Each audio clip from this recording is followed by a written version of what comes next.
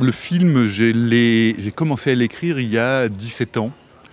Euh, moi, j'ai vécu à Marseille un moment. La Ciotat, à ce moment-là, était encore euh, euh, un chantier naval actif.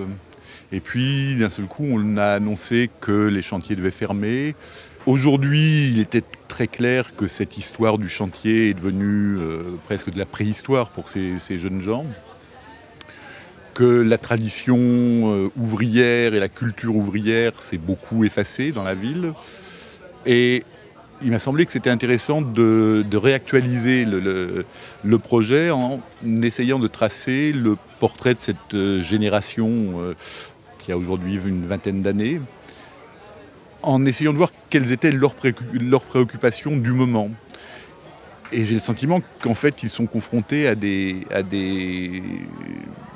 à un monde qui est beaucoup plus violent que celui qu'on a pu connaître nous, euh, qu'ils sont confrontés à des extrémismes de tous bords qui leur proposent, d'une part des solutions magiques à leurs problèmes, mais aussi un peu de, un peu de piment dans leur vie.